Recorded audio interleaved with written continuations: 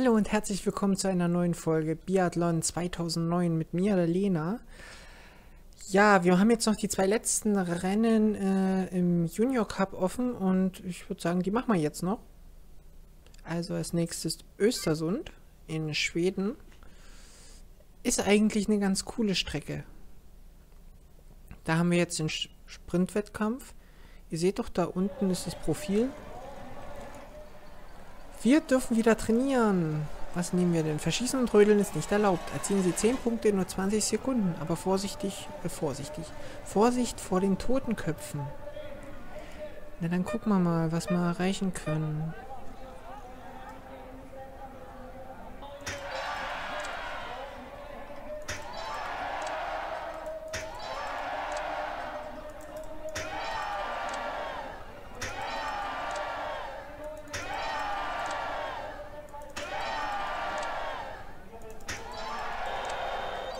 Naja, immerhin 8.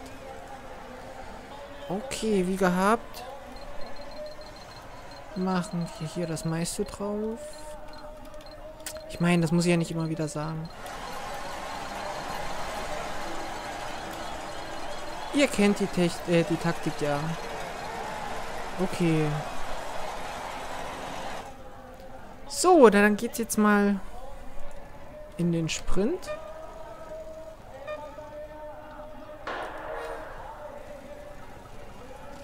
Weiß nicht, der Start stand zwar perfekt, aber irgendwie... Ich glaube, Östersund sind die Gegner sogar relativ gut. Ich glaube, da muss man, müsste man läuferisch schon ganz schön...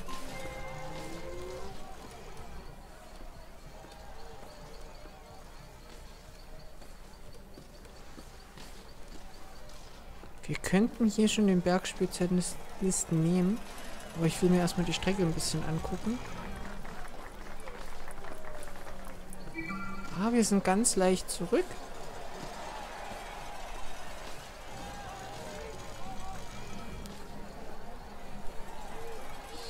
Ich glaube, hier geht's ja, ein bisschen geht's nach oben lang. Wir sprinten mal, damit wir hier mit ordentlich Schwung runterfahren können.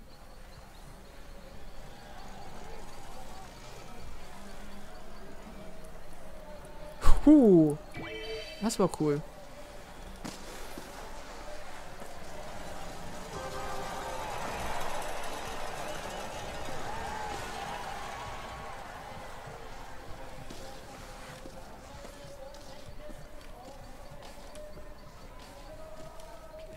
Jetzt die zweite Zwischenzeit verpasst? Habe ich gar nicht gesehen.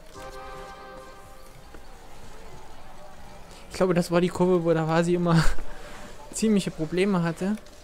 Und sich deswegen öfters mal das Rennen versaut hatte. Bei uns läuft sehr gut. Wie immer. Unser Ziel ist natürlich die perfekte Saison zu bestreiten. Das heißt, alles zu gewinnen.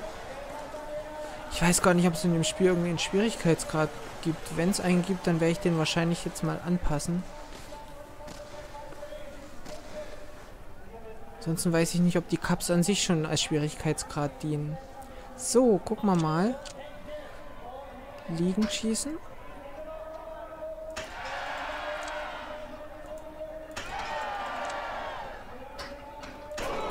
Ach Gott. Der war schlecht. Nicht gut, nicht gut.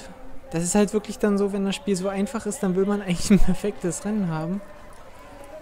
Das, da gab es irgendwann noch mal so ein Interview mit Olainer Björndalen. Der hat gesagt, dem ist es egal, ob er Erster oder Zwanzigster wird. Hauptsache, er will einen fehlerfreien Wettkampf haben. Das ist eigentlich auch das Wichtigste, dass man mit sich selbst zufrieden ist.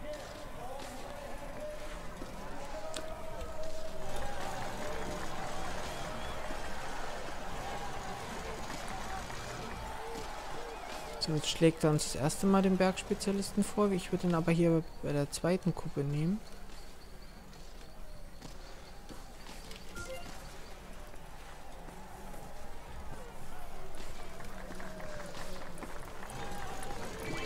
Und haben jetzt knappe 47 Sekunden Vorsprung.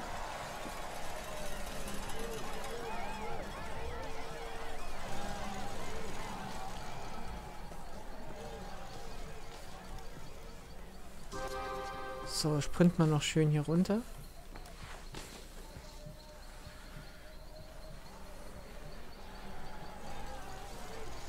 Also das hat es auf jeden Fall gebracht, die Maus-Sensitivität nach oben zu sch schrauben.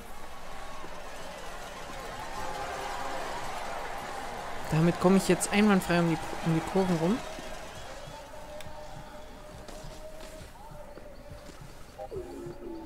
Kraft niedrig, egal.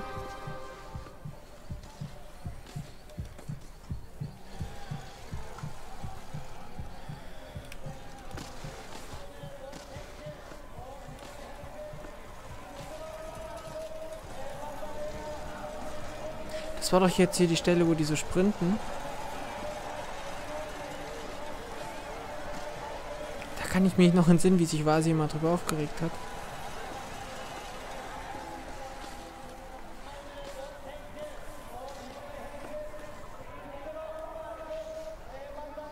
So. Stehen schießen. Sollte eigentlich besser laufen, wie immer.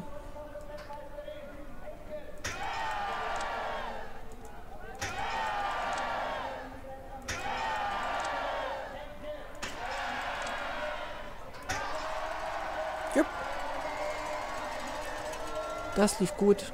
Also ich denke mal, das wird wieder ein knapper Sieg für uns. Ach, schon niemand mehr vor uns. Ach, Mann. Wie blöd.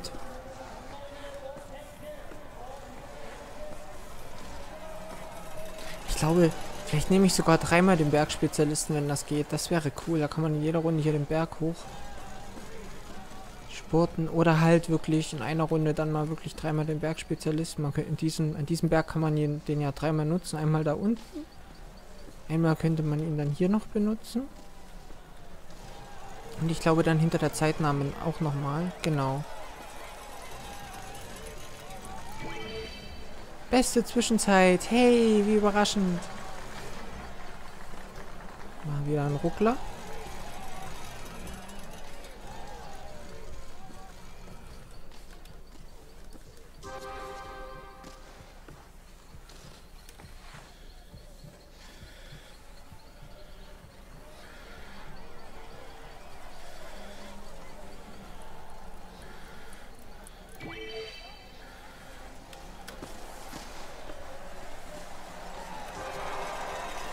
Und der nächste Sprung.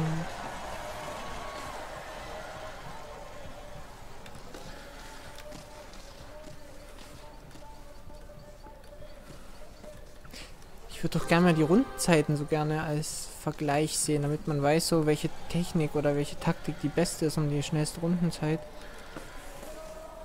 hinzubekommen.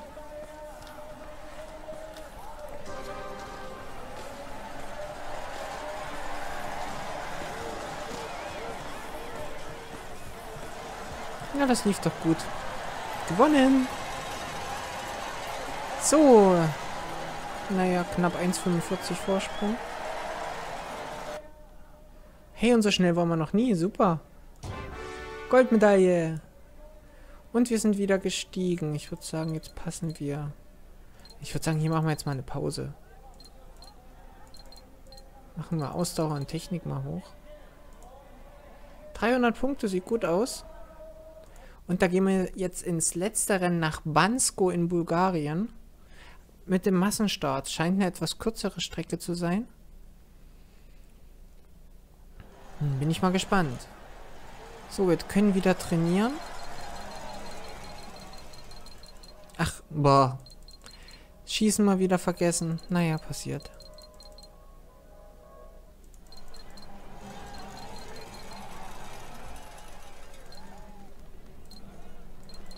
Machen wir es mal so.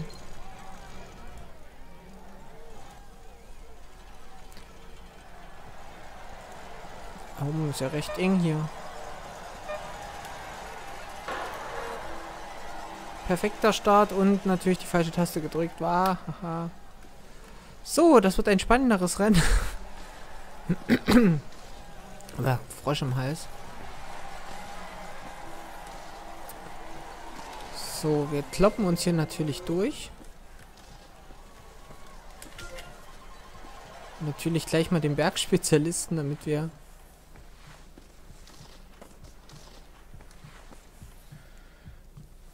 damit wir erstmal gleich schön an allen vorbeifahren. Ich finde das taktisch eigentlich gar nicht so dumm, weil ich habe das so oft gesehen, wie man sich dann dahinter verkeilt, wenn man und da hat, hat man in der ersten Runde schon so viel Stress.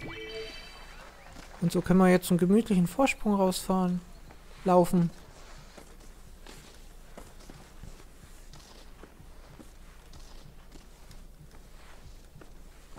Das sieht doch hier nach Abfahrt aus. Das ist doch ein schönes Streck. Wow, das ist... Das ist auch eine Kurve.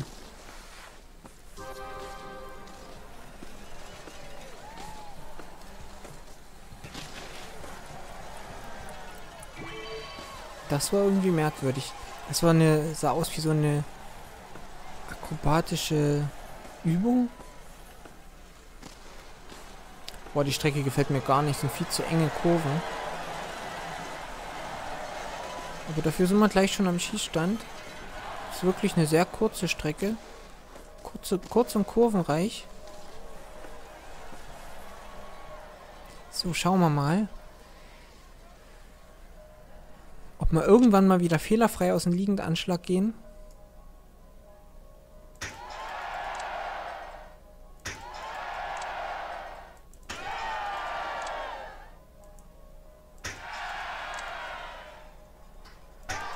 Na endlich. Das wäre ja sonst blöd, wenn wir immer irgendwelche Fehler schießen. Das ist ja langweilig. Ein bisschen Abwechslung wollte er ja auch. So, da sind wir die Österreicher. Die Deutschen auf der anderen Seite. Ja, feuert die Finnen an. Boah, ich hoffe, die Kaiser wird dieses Jahr auch wieder eine gute Rolle spielen im Biathlon. Natürlich im Biathlon, über was reden wir hier die ganze Zeit?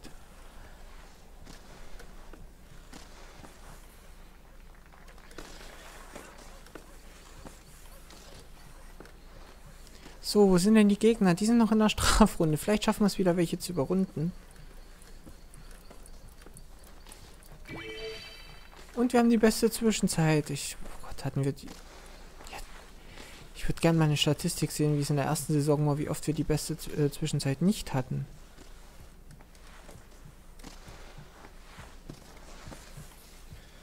Viermal, fünfmal?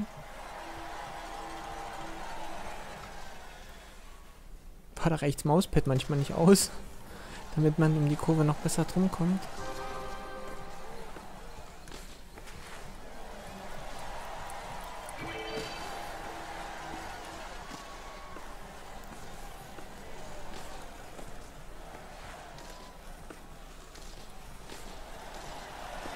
Ja, nicht an der Ecke hängen bleiben. Ich will hier die Bestzeit. Das wäre schon cool, wenn wir das schaffen. Das ist also noch ein bisschen der Ansporn. Da wäre es halt wirklich cool, wenn die... Ach, da hinten vorne schon, äh, laufen schon welche. Sehr schön. So, Stehendanschlag. Machen wir es wie Ole einer Björnlein und absolvieren den perfekten Wettkampf.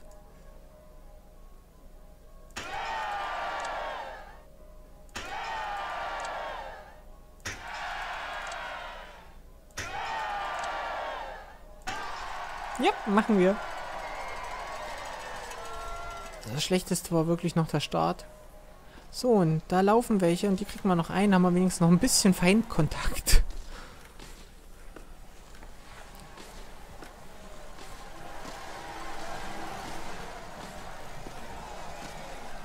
Meine Güte, seid ihr langsam.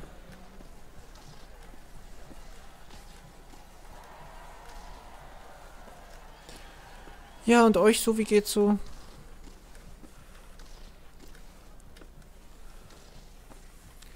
Habt ihr so am Wochenende geplant?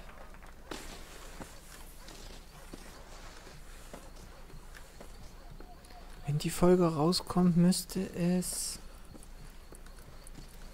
Boah. Muss ich echt rechnen.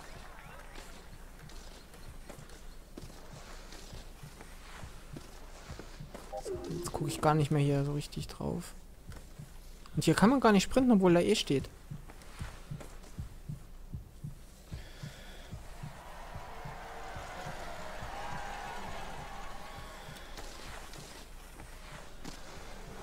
Samstag müsste es sein.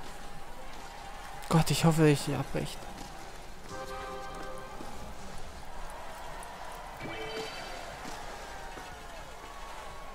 Ach, hier, das Oh Mann, sind die schlecht. Ich muss echt mal gucken, ob das, ob das einen Schwierigkeitsgrad hat oder nicht. Super. Wir haben gewonnen, wir haben alle Rennen gewonnen. Alle Rennen der ersten Saison. Ich würde sagen, einfach. Ach, und wieder fast zwei Minuten Vorsprung. Und nochmal sieben Sekunden schneller als meine alte Bestzeit.